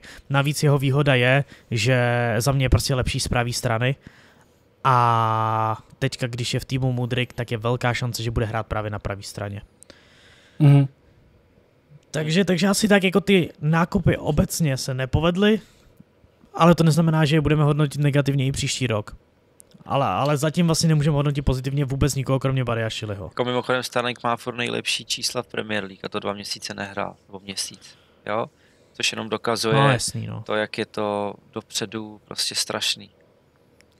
Jo, jak to, to, to se nedá srovnávat, tak tam samozřejmě máte ty, ty vaše talenty, Pulišiče a podobný, který tam pět let, pět let prostě jsou vyhypovaný a pět let je jejich maximum Já jsem tým Havertz. tři góly v lize. Takže to vždycky se jim povede měsíc za, za celý rok a vždycky z toho pak žijou dva roky. Takže, Ne, víš co, jako, takže samozřejmě, když tyhle hráči půjdou pryč, tak eh, tak podle mě i právě hráči jako Sterling a tak dále. Otázka, co s tím Kukureo a zase to není přestup, který by se dal kritizovat. Dá se kritizovat ta částka, ta je nesmyslná, ale na druhou stranu uh, prostě Chilwell byl často zraněný, on je výborný jako hráč, nebo ukazoval to aspoň v Brightonu, a těžko zase je to věc, která se dá kritizovat. Za mě jediný přestup, která se dá, který se dá vysloveně kritizovat, tak je ten Auba. To byl prostě za mě úplný nesmysl. No. Ještě ho, ještě ho nakoupit prostě skoro, když uh, k tomu připušte Marcos Alonso, který by čo, uh, Barca stejně koupila, tak to je prostě částka okolo 30 milionů euro. To je šílený za hráče, který půl roku zpátky šel zadarmo. A navíc mu je 33. Hmm. To je No. fakt jako píčovina úplná. bohužel. Gabo sa ešte dostaneme na Hero Hero. Uh, tak to boli tie letné nákupy a k tým zimným, tak tam prišiel Enzo 121, prišiel Mudrik, prišiel Badiašile, prišiel Madueke, prišiel Malo Gusto, ten vlastne ostal ešte v Lyone na hostovaní pravý back, prišiel Andrej Santos, ten teraz drtí na majstrovstvách Hmm. sveta, Jo, jo, Je to světa? Nějakých U 20, tam už dal, tam dal snad 5 5 gólů za gólů 5 už. zápasů Jo. a je to defenzivní záložník jenom No, pro informaci. Jo, Nebo defenzivní, celkom je to takový, oni teď jsem někde viděl, že ho přirovnávají klasicky nějakému hráči, že ho vidí jako Box to? Gerarda, no. Takovýho trošku defenzivnějšího, ale gólovýho To je hráče, prostě no. týpek, co nikdy nic nevyhrál. No jasně. Ale pokud bude mít jakou kariéru i u nás, tak se nebudu zlobit, tyhle. Yes. Jste bez ligy, no. A v Lize mistrů máte šanci. ano. Je dobrý. ty si No, no. piču. Prišiel uh, David Fofana, prišiel Joao Felix na hostovanie. Tak uh, ako to hodnotíte v zime? Uh, tie nákupy a tých, tých hráčov nejako stručne. Či už je to Enzo, Mudrík a teď samozrejme nemôžeme hodnotiť výkony všetkých tých futbalistov, pretože okrem Badiešilov tam ešte nikto poriadne nič neodohral. Ale ako to vnímate ten nákup, alebo toľko hráčov a tie jednotlivé príchody? Môžeme začať tým Enzom. Tak, Můžeš, Lubo, ty klidně. tak já jako musím říct, že s těma nákupama v létě, teda v zimě jsem jako dost uh, spokojený, i když věřím tomu, že v nějaký širší veřejnosti to je hodně random za částky, prostě za hráče, který nikdo moc jako nikdy neviděl. Uh, ale samozřejmě Enzo je, já jsem už ho jsem psal do jedné jako ze skupin, co máme s klukama, s kámošema už před MS, že by se mi líbil, že bych ho prostě koupil jako prvního toho záložníka do té obměny uh, té zálohy. A já jsem párkrát koukal na zápas Benfiky, jenom mi to tady prostě random běželo v telce, ne že bych to nějak vyhledával jako Ligo Portugal, ale pak jsem někde na netu uh, náhodně viděl nějaký scouting report na něj, jako dopodrobna rozepsaný, protože mě baví na to, jak jsem to koukal a zaujalo mě, že Frér má uh, přes 100 nahrávek za zápas, měl a měl asi 10 až 12 dlouhých míčů, který byly všechny přesný. Což je statistika, která je v podstatě, a je jedno v jaký to je lize, ale je to skoro nereálný vůbec to stihnout za ten zápas. Jo, trefit prostě 12 dlouhých míčů. Dokonce udělal nějaký i rekord, nebo jeho rekord, že snad jeden zápas to bylo 16 nebo 18 dlouhých míčů. A za mě jako už i po tom mistrovství světa, kdy on nejdřív nehrál a potom ho tam nadspal ten trenér, tak ta Argentina šla úplně do jiného levelu, někam úplně zašli, prostě začali hrát aspoň fotbal, ne náhodu na Messiho, vymyslit tam něco. A za mě to byl teda naprostý uh, must buy z dvou důvodů, a to z toho, že profil, který má Enzo, je strašně vzácný ve fotbale a v podstatě uh, nevím, který jiný hráč na světě je schopný toho, co on, minimálně z těch statistik a z toho, co, co jsem viděl. A ta druhá je, že samozřejmě v létě by možná nestal tolik, ale určitě by po něm šlo daleko víc, uh, daleko víc týmů. Takže uh, myslel jsem si, že to nevyjde teda, když jsem viděl, že vlastně Benfica chtěla a my jsme údajně nabídli 85 plus hráče, což já si teda do dneška myslím, že by pro Benfiku bylo ještě výhodnější. Tam mělo být, uh, měl tam být 85 milionů Ziyech a Fofana s tím Santosem na rok a půl hostování, což za mě je docela fair jako deal, ale chápu Benfiku, že prostě nechtěli. A, a takže z toho důvodu, že prostě teď jsme mohli ještě použít tu dlouhou smlouvu na něj a v létě samozřejmě by ho chtělo dalších třeba šest týmů, tak uh, si myslím, že proto se rozhodli majitele, že ho prostě urvou za těch 121 mega. No. A za mě jako naprostá spokojenost. Ono, ono by to bylo pro Benfiku hlavně ekonomicky nevýhodný, že jo? protože vzít si na hostování toho Fofanu se Santosem, tak to znamená, že za ně ale nic nedostanou. Jsou to prostě jenom mladí hráči, kteří oni rozehrajou a dává jim větší smysl radši vzít uh, No jasně no. z těch, uh, víš, že radši vzít ty prachy a za 20 Ale- může koupit nějaký A talent. tak vlastně víš co, má, A- dostal bys 85 mega, dostal bys si Ziyecha, který by určitě hrál dobře, což ten má cenu minimálně 20 nějakých, takže seš taky na stovce, že jo. Samozřejmě plat, OK, Hmm. a máš dva hráče, který, jako, který můžeš hrát a který ale, nech, který ale víš, že budeš mít v týmu jenom rok a to je podle no mě, jasně no. že to vůbec není filozofie Benfiky, no, že Jo, já bych jo. to taky určitě nepřijmul. Jako pokud se koukáme na Benfiku jako klub, jakým stylem funguje, tak bych určitě tam nechtěl na hostování Santose s Fofanou. Podle mě to jako vůbec nedává smysl k jejich jako klubový filozofii, no. Tam radši si dají někoho, koho i třeba budou hrát o něco hůř, ale potom, když se chytne, tak ho prodají tady zase za 80 nebo za 100 vys, vys tady uh, Enzo, no. Jo, jako, já vím, že nehostuje, jenom mě to jako přišlo, že to je celkem fair. Ale jako Mhm. jsem s tím spokojený, jako prostě to je, je to rare hráč a už to dokázal hned v prvním zápase. Na to, že neumí ani anglicky říct let's go Chelsea, musel to říct ve španělštině, tak za mě velmi dobrý. Ty píčo. OK. Uh, ďalej prišiel uh, teda aj Mudrik, Luky, čo ty a Mudrik. 70 míčů, kluk z Ukrajiny. Uh, no, z, Moc toho neodohral ešte vo svete jo, futbalu, z bo- čiastka šialená. s bonusama kilo, ne? Jo, Hmm. Nevím, jako prostě musíme si počkat, jako ta, čís, ta částka je samozřejmě přestřelená, tady se mi nabízí hodně podobný příklad jako Antony, ta částka taky za Antonyho byla úplně mimo, Uh, samozřejmě, když se podíváme na nějaký videa, tak vypadá Antony dobře, stejně tak Mudrik vypadá dobře na videích. Otázka, uh, jak se jako chytne, to prostě hrozně těžko hodnotit někoho, kdo jako nehrál. Pokud se podíváme na čísla, jak je to úplný nesmysl. On nebyl extra produktivní ani v té ukrajinské lize. Na druhou stranu jsem ho viděl eh, v tom zápase s Tottenhamem a koukal jsem i na ten zápas s Fulhamem, ale já jsem koukal až jakoby od nějaký 35. minuty a on o poločas šel dolů. Jo, Takže nevím, jak, jaký měl ten první poločas, ale ten, ten první zápas se tam nastoupil asi na 20 minut, tak se mi líbil. Měl tam dobrý záblesky, dobrý rozhodování s míčem, je teda extrémně rychlej. A jako vypadá jako zajímavý hráč, ale otázka, to je prostě otázka produktivity. Lukas Mouraky na začátku vypadal jako zajímavý hráč, jo.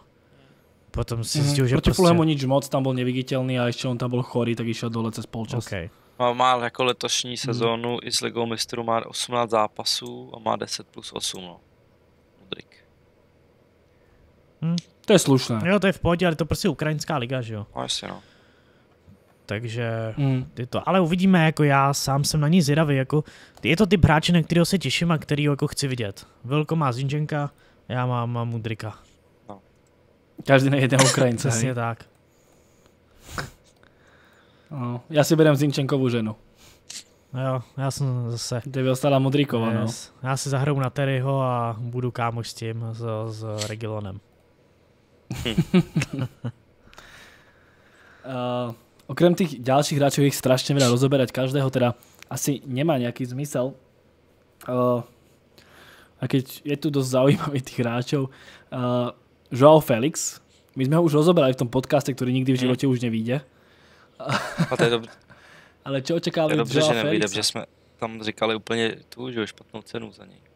Protože nám nedošlo, nám nedošlo, Aké- že jsme počítali jeho aké cena? plat za celou sezónu plus tu, že jo. A, a vlastně to bude Mhm. jenom půlka. A to je jedno. Hele, já jsem moc nepochopil toho Felixe z začátku. Uh, že přišel a ještě na hostování, nicméně se teď za ten měsíc, co si dal dovču v Londýně, uh, začaly objevovat spekulace, že jako je velmi spokojený a že prej údajně by v té smlouvě měla být uh, nějaká tajná klauzule a psali to ty lepší, lepší zdroje kolem, kolem Chelsea, že když obě dvě strany, nejenom jedna, ale obě dvě strany se shodnou a budou chtít, takže tam je nějaká klauzule o výkupu.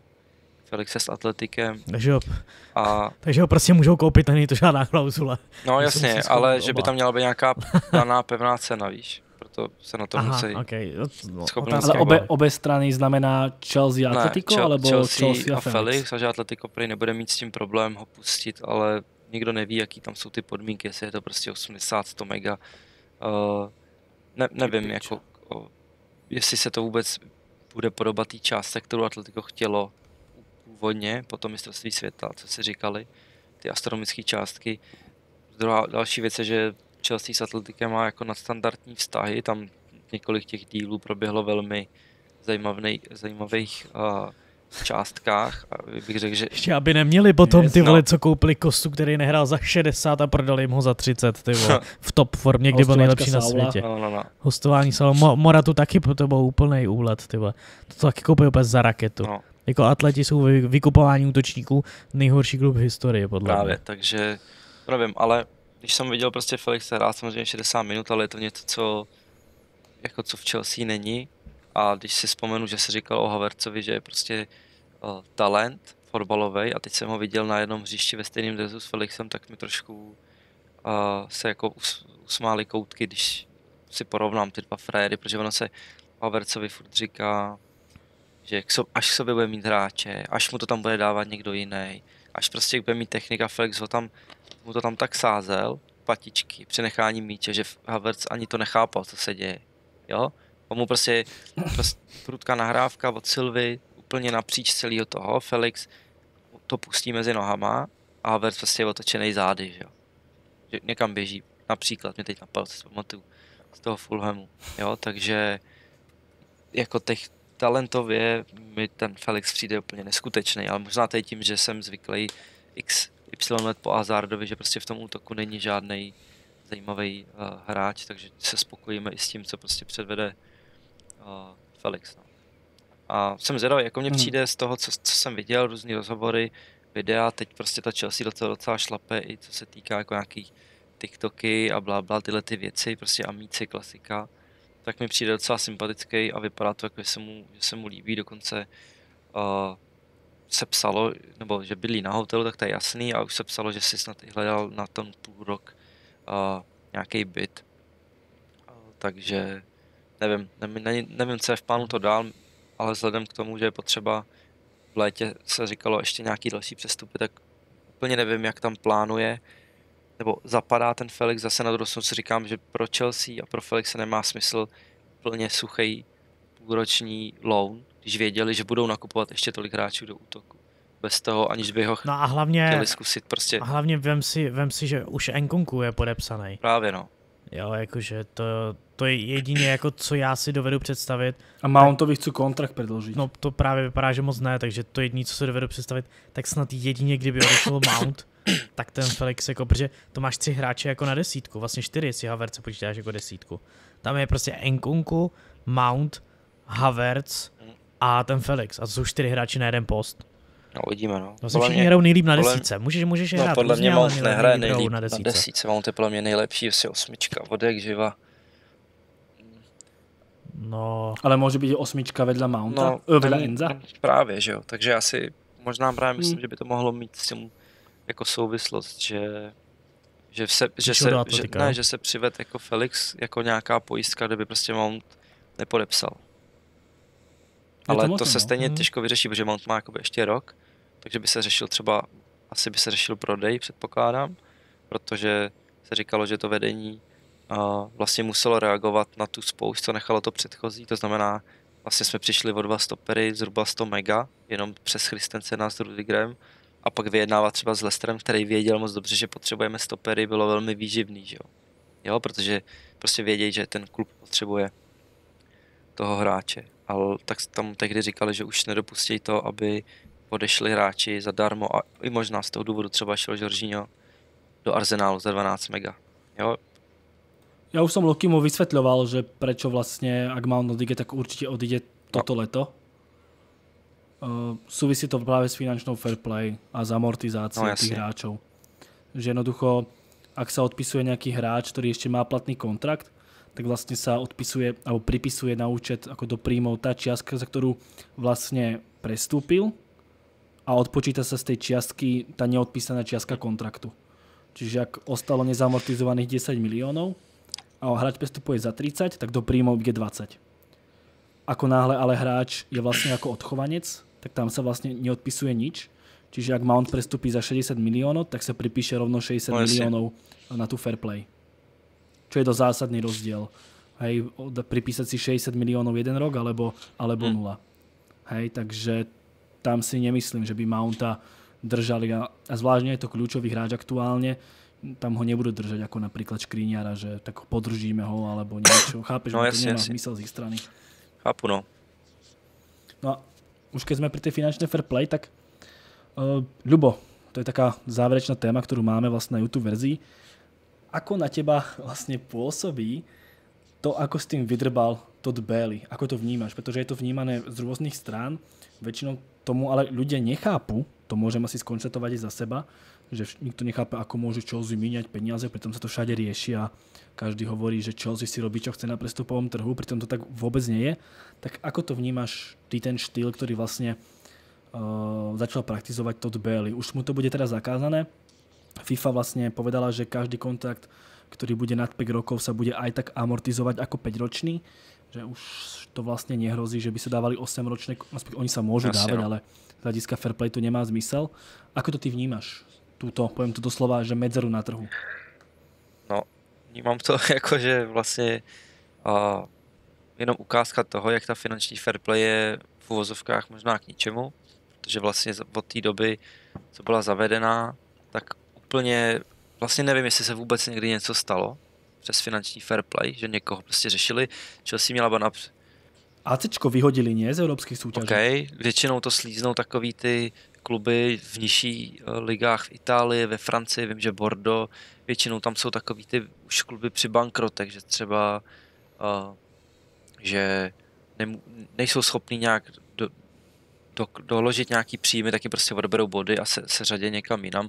Ty velké kluby to v podstatě nějak úplně nepostihuje. Mož, No, ja, jako, jako ne, ale na druhou možná stranu jsem, prostě jsem Newcastle by nastupoval úplně, nebo nakupoval úplně jiným stylem, nebýt finanční fair Jo. play a, a spoustu takhle i podle mě i další, další jako kluby, že podle mě to jako má smysl, jako že myslím, je to Myslím u minimálně těch velkých prevence. klubů, protože ty si jsou schopní generovat neskutečný ty příjmy, které se do toho jakoby počítají taky. Za mě by Mhm. třeba mělo to finanční fair play daleko větší smysl, kdyby ten tok peněz se měřil za výhry eh, v soutěžích, za umístění v lize, prostě za prize money a za třeba prodej těch hráčů.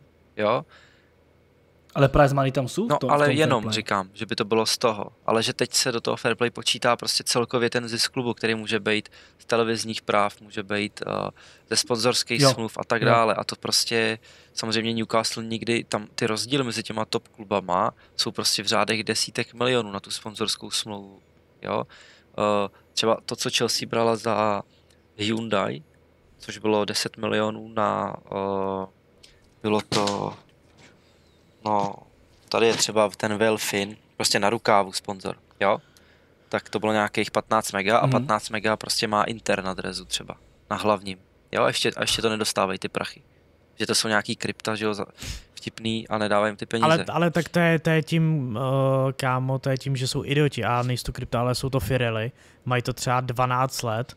Nejsou a- to Pirelli, Pirelli. Mají Pirelli Digital teda. Bits, nemají, Ale už mají nemajú krypto Pirelli nějaký. teraz. Už teraz A- Pirelli nemajú. OK, no tak, Už tak teďka mají jako někoho novýho, ale oni měli snad 11 let Pirelli a dostávali, dostávali za to 12 No jasně, no. milionů Jasně, eur To je jejich ročně. blbost. A, a v, no to jsou oni retardi, že, že to, a my jsme to řešili i, i, v, i v podcastu, my jsme, jsme to řešili něco podobného, nevím, co bylo AC Inter, ale Inter. No, ale myslím, že i ACčko bylo něco takového, že jsme to tam řešili a prostě oni to brali, že no, už je to jako tradice. Já říkám, ty tak vy máte tradici a my teď dostaneme 60, eur, 60 milionů eur za rok, No jo. jasně, no. To se mi ta naše tradice líbí víc, teda co máme jako třeba Chevrolet, že jo, nebo Inak ja Pirelli. dodám, že čo sme mali práve, napríklad čo má Chelsea sponzora, musia ho riešiť mimochodom, aj predného, aj na toho na rukáve v jeden rok. Teraz taká bitka sa vlastne deje s tými sponzorskými zmluvami v pozadí, že vlastne 10 tímov v Premier League nemá kontrakty na dresoch, tak bokovka iba, tak vlastne Chelsea má 60 miliónov, ak sa nemýlim, uh, toho hlavného sponzora na dres a Newcastle mali iba 8. No. To je veľké porovnanie, akože 52 miliónov do finančnej fair play si napísať, tak to je, to je riadna suma. To je riadna suma. Hm. Že to je tak, taká bokovka. No takže, no, takže čo k tomu ještě viacej? Luky, no já k tomu vlastně nemám co říct. Jako užívám si to po tom, co prostě před rokem se nám dělo, že vlastně nám všechno zavřeli, nemohlo se prodat, nemohlo se kupovat lístky. Uh, hráči samozřejmě, teď se všude psalo, že budou odcházet všichni a bla, bla, bla, prostě výmysly. Myslím si, že pro fanoušky Chelsea to bylo určitě nervózní období, tak tohle je taková příjemná náplast. A když se do toho člověk začte, tak všímám si lidi, kteří říkají, že mají strach, že prostě nás zabanujou a že bude bankrot a bla, bla, bla, ale vůbec to tak jako není.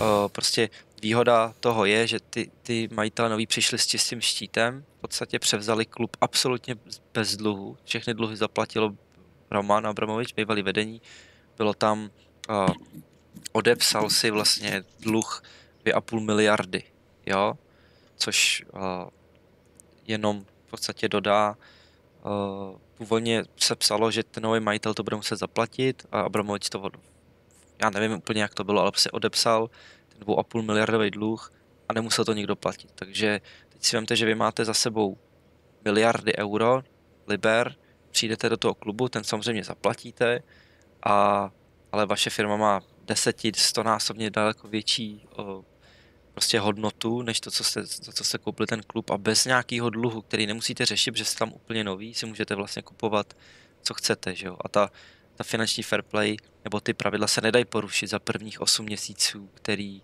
mají ty majitelé ten klub. To jsou až nějaký prostě tříletky, pětiletky a tak dále. Jo? To jsou tříletky. Takže v podstatě, když člověk, bych to přirovnal k tomu, že když v podstatě jako kdyby někdo třeba žil zadarmo někde, jo, třeba zdědil něco nebo žil ještě s rodičem a přišel mu prostě na účet 150 tisíc, nějaký super práce, tak půjdeš a koupíš si, já nevím, uh, Meka prostě za 45 tisíc a bude ti to jedno, protože žádný jiný výdaj už nemáš, jo. jo? Takže takhle se utrácí prostě dobře, objevili tu díru přes tu finanční fair play, proto možná využili ji v lednu co nejvíc, protože vědějí, že to byla poslední šance a za mě jako fanouška Chelsea jsem si to samozřejmě užil. No. To už potom... Inak ja len dodám, že vyšla taká analýza, možno poznáte všetci Swiss Ramble, eh, to je taký týpek, ktorý sa venuje v tých klubových financiách, tak on vlastne vypočítal, a tým ako nechcem nejako strašiť, že vlastne Chelsea už bola pred prestupom Enza na hrane s finančnou fair play. Eh, tam môže mať vlastne za 3 roky, myslím, stratu 90 miliónov. To môžeš prekročiť. Tie príjmy a, a výdaje. A, ale tam ide o to, že je dosť možné, že to Chelsea trošku prešvihla, len je to odstupňované. A je to, myslím, 9 stupňov trestu, ktorý ťa môže vlastne akože mhm. trafiť. A ty, keď tú finančnú fair play netrafíš o milión, vymyslím si, ja neviem tie hranice, ale vymyslím si, tak tebe v úvodzovkách hrozí iba varovanie. Že počuj, že prekočil si finančnú fair play o milión. No. Potom sú aj ďalšie stupne tých trestov. Je tam nejaká pokuta. Jasne, no. A teda, a teda a až nejaký 9. alebo 8. trest je nejaký ban z európskych súťaží alebo niečo také. Čiže Chelsea, keď poruší náhodou o pár miliónov alebo tisíc, tak nič zásadné sa vlastne nebude diať, pretože maximálne príde finančná pokuta, ako napríklad dostal Manchester City, keď ich dokonca vyhodili zo súťaže. Pozor, tam bol veľký prešlap, ich vyhodili, potom sa odvolali, uhrali to iba na pokutu, ale tú pokutu ani nemusíš vykešovať akože hneď, môže si to nejako rozložiť a je to v Chile. Čiže Chelsea, keď to náhodou prekročila, čo sa vlastne očakáva, aspoň to Swiss Ramble vypočítal, že možno asi aj to prekročili, tak to nebude nejako zásadne a vlastne maximálne to bude nejaké upozornenie, alebo možno to bude také, že LTTA aj to vyjde uh, na milión presne. Samozrejme Swiss Rumble asi nemá mm-hmm. presné čísla. Ale to som chcel povedať, že Chelsea je úplne v čile, čo týka finančnej fair play a vlastne Chelsea ako klub má peniaze, čiže môžu míňať. No, Čiže podľa mňa to urobil Todd Bailey geniálne.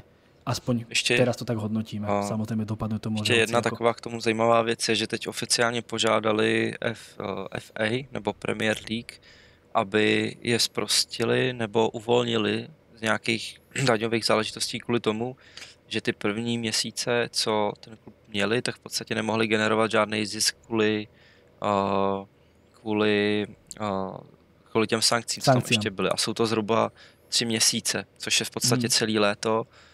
A no jasně, takže a vypadá to, co jsem, co tam dnes, co k tomu dneska ty lidi psali, že asi by to mohlo být i schválený, takže já nevím, jaký to bude mít dopad, jakože co to, jaký tam může být, jaká výhoda, když jim dají třeba tři měsíce navíc k tomu, jestli tam se bude započítávat to nějak jinak, nebo oni ty tři měsíce využijí na to, že do toho třeba započítají víc z prodeje těch hráčů, to netuším, ale jenom, že v podstatě to vypadá, že mají dost schopný tým, asi právníků, ekonomů a, a tedy, a tedy, který hledají, uh, co se dá všechno využít pro, nebo pro neohrožení a zlepšení té ekonomické situace, která je v Chelsea. No. Mm-hmm. Luky, čo ty a Todd Bailey a jeho diera na trhu? A záverečná otázka na teba. Čo si, alebo čo ďalej možno očakávať od Chelsea v lete? Graham Potter sa vyjadril, že si nemyslí, že takto budú utrácať aj ďalej. Tak já si myslím... Nepočujeme tě? Já jsem něco říkal. Dobrý. Aha, OK. A za chvíli podíval na ten mikrák. A, takhle, já si myslím, že v létě ještě přijdou příchody, ale myslím si, že léto bude konečný, co se týče velkých přestupů. V létě podle mě přijde ještě dost pravděpodobně jeden střední záložník a útočník. Mm. A to si myslím, že bude ale všechno. A že, a že potom bude na nějakou dobu jako klid a nemyslím si, že takhle. Uh, to, co říkal Potter, tak to neznamená, že Chelsea nebude vůbec nakupovat. To znamená, Jasně. že takovýmhle šíleným způsobem nebudou nakupovat. Což je ale jasný, protože to prostě nemůžou. To nemůžou utratit každý léto 300 milionů. To prostě nejde. Ale uh, počítám s tím, že v létě to bude více jak 100 milionů, ale zároveň i spoustu Jasně. hráčů prodaj. Zároveň spoustu hráčů prodaj, takže je tam fakt spou- je tam prostě spoustu hráčů, který můžou pustit, takže takže tak, a nedivil bych se ani, kdyby prodloužili třeba smlouvu Kantemu, už i kdyby jenom z ohledu na finanční fair play uh, a prodali třeba Kovačiče. Protože budou potřeba někoho zpeněžit. A vyjde jim to líp, než, uh, než toho Kanteho pustit zadarmo a teoreticky mu můžou dát dvouletou smlouvu a prodat ho za rok toho Kanteho. Aby i z něho prostě mm. něco vytřískali. Takže si myslím, že to bude trošku hraní s číslama ale nemyslím si, že by Chelsea pokračovala v tom, že, že v létě utratí dalších 300 milionů. A i kdyby, tak to už bude jako poslední, poslední takový velký přestupový léto a velký přestupový čachry. Mm-hmm. A čo ty a Todd Berry a ta jeho medzera na trhu? Páči se ti tento přístup? Jo, jakože je takhle protože... extrémně chytrý. Nebo co jsi chtěl dodat ještě? Toto akože, či sa to páči, nepáči, pretože určite to obnáša aj nejaké možné, dá sa povedať, mínusy. No tak nemusíme klamať, ono to môže dopadnout geniálně, ale jsou tam jisté rizika. Je, no, tak jo, určitě, určitě. Jsou, jsou, tam prostě rizika, ty, když ty hráči budou flopy, tak je Chelsea jako velmi na tom špatně, co se týče nějaké budoucnosti, ale ty hráči jsou mladí, takže teoreticky, kdyby se neprosadili, tak by se měli dobře prodat. Uh, na mě to působí extrémně chytře to, jakým způsobem to dělá. To neznamená, že to musí 100% za každou cenu výjít, ale minimálně to působí uh, extrémně chytře. Takže... Takže jsi fanoušek Toda Baileyho? Jo, jo, jo, jo. Mně se, mně se mega líbí, uh, jo, jo, jsem určitě fanoušek teda Baileyho. Samozřejmě byl bych radši, kdyby se tohle dělo v United, ale ale určitě jsem jako fanoušek jeho stylu práce. Mě, mě Ted Bailey a obecně to, co s klubem dělá a jak už jsem říkal, jak tam dosazuje lidi, to, že našel mezeru na trhu a to, jakým způsobem on jako podnikatel funguje, tak za mě to je geniální. Nemusí to samozřejmě vít, vždycky jsou věci, že může to stát, že to nevíde, ale jako já jsem velký fanoušek lidí, co dělají jakýkoliv inovace a on do fotbalu přinesl něco, co my si vlastně nikdo ani nepředstavoval, že je možný a navíc to dělá velmi inteligentně. Takže já hmm. jsem stoprocentně jako jeho fanoušek. Ale nejsem rád, že se to děje zrovna v Chelsea. Byl bych rád, kdyby se to dělo buď mimo anglickou ligu, anebo v United, no, protože je to trošku nebezpečný z toho, že to prostě dává možná až moc smysl a trošku si říkám, že ta Chelsea by mohla být do budoucna fakt silná. Mm, mm. Lubo, čo můžeme podle těba očekávat od Chelsea v nejbližších rokoch alebo v nejbližším prestupáku? Tak v nejbližších letech nevím. Uh, ten cíl samozřejmě, který je zatím jenom slovní a teoretický, je takový, že chtějí do roku 2025 uh, a tím vlastně i ospravedlňovali, nebo ospravedlňovali, vysvětlovali ty novináři ty nákupy, že to jsou prostě nákupy do budoucna, že bych chtěl mít do roku 2025 postavený v podstatě kompletně ten tým, do kterého už se nebude muset zasahovat maximálně v případě nějakých, já nevím, někoho prodáš, nahradíš ho někým jiným, klasika, nebo najdeš někoho zajímavého, vyskoutuješ a tak dále. A prostě není to, chtěli by prostě bojovat o každou trofej, což asi jasný, protože to je, je to Chelsea, to se ti, to si řekneš na začátku každé sezóny, i když prostě ten tým dobrý není. Další léto, co se řeší, tak samozřejmě furt je v hledáčku a v debatách Declan Rice, který si myslím, že furt chybí takový záložník v Chelsea. Prostě defenzivní, nějaká šestka, DM, což Enzo asi je schopný zastat, ukázal to na Fulhamu, ale není to podle mě úplně jeho to nejlepší. Já si myslím, že kdyby hrál trošku vejš s nějakým fakt defenzivním štítem, uh, zodpovědným, uh, moderním, něco jako Rodry, právě Rice, nebo třeba Casemiro a tak dále, tak je uh, daleko ještě líp na tom, že ještě mu to bude sedět víc. No a pak samozřejmě nekončící debata je útočník, no, který prostě chybí, chybí už x let a bohužel zatím nikdo nevypadá, že to se chopí, takže těžko říct, jestli, jestli třeba se dá šance Kunkovi na hrotu, který nedávno jsem někde četl, že se nejlíp právě cítí jako devítka, což bych teda osobně nikdy neřekl, on to samozřejmě ví líp než my, ale já si nepamatuju, že by tam někdy úplně jako hrál. A takže nevím, jestli on, možná Felix, nemyslím si, že další sezónu potáhne Havertz na hrotu, takže jestli nějaký útočník, uh, Juventus třeba padne, Vlahovič mě napadá, Osimhen, ale to je prostě 150 mega, možná 100 určitě, to už upřímně bych se úplně nerad pouštěl do nějakých takhle strašně drahých útočníků, protože to moc nevychází. A poslední post, podle mě, který je nutný řešit, je Golman, protože Mendy je ještě bude asi měsíc mimo, myslím si, že je na odchodu, že Kepa ukázal, že umí chytat, i když dělá občas chyby, tak má nejlepší procentuální úspěšnost Premier League zatím a už se nedá říct, že za pár zápasů, protože ho chytal už poměrně dost, ale samozřejmě bude se buď hledat nějaká dvojka a v mých očích je Kepa, nevím, jestli je to úplně takový ten uh, historii Golman, který utvořil nějakou dynastii v té Chelsea, jestli je až tak moc kvalitní, aby byl považovaný za jeden z nejlepších na světě. Takže si myslím, že se bude řešit i brankář, ale to si myslím, že asi v, zá, v závislosti na Mendym a jeho odchodu a, a, a bude to asi až úplně to poslední, co by jsem jako řešil. Přijde Raja. Třeba. Třeba Raja. Ale Hmm? To jen tak napadá, že prostě je to nevyřešený, že asi Mendy bude chtít někde chytat. Nevím, jestli teda v top klubu, on měl fakt tu mega sezónu, víme, že pak to šlo dolů. Ale bude se to asi řešit do brankoviště, ale myslím si, že to není to nejdůležitější, co je v létě jako na pořadu dne. Mm-hmm. Mm-hmm. Určitě by Chelsea zaujímavé sledovat, to se si zhodneme, že aktuálně vo světě asi nenájdeme zaujímavější tým takže se na to docela, docela tešíme, že ako to dopadne. No. Ja by som to čtvrté miesto celkom bral, ako bola by prdel aspoň. Nie, Luky? A co?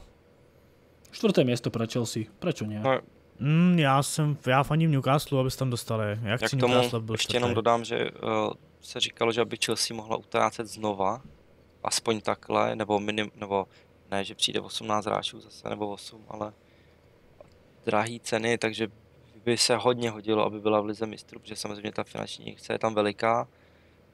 A když se to nestane, takže to pravděpodobně odnesou nějaký odchovanci, což může být Gallagher, může to být možná Čalobach, uh, za Gallagher už teď chodili na Mount. býtky 50 milionů, může to být Mount, takže dohromady jenom ty kluci z toho Kobevu můžou prostě udělat 120, 130 milionů a tím se to, tím se to prostě zase naplní tak asi. Ale to, To sú práve tí hráči, sa nejako Práve. neodpisovali, neodpisujú a je to čistý, čistý zisk, kdežto ak chceš predať, dajme tomu teraz toho Sterlinga, ktorý stal 60, predáš ho možno za 50, odpísal si 10 a vlastne čistý zisk nemáš žiadny. Hej, či, ty, ty ho síce už nebudeš odpisovať v ďalšej fair play, v ďalšom roku, ale vlastne suma sumaro do fair play si nezískal už v podstate nič. Hej. no, takže tak. Yes. Takže tak, Luky, ideme na Hero. Yes, takže děkujem všem, kdo jste koukali, poslouchali a my se přesouváme na Hero, takže jdeme, rádi, když taky dorazíte herohero.co lomeno fotbalné tradiše, nejlepší stránka na internetu a krásná věc.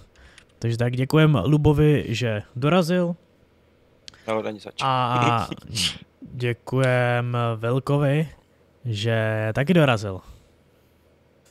Pohoda. Yes, tak, Aj na budúce. yes, tak mějte se a někdy příště. Ahoj. Čus. Ahoj.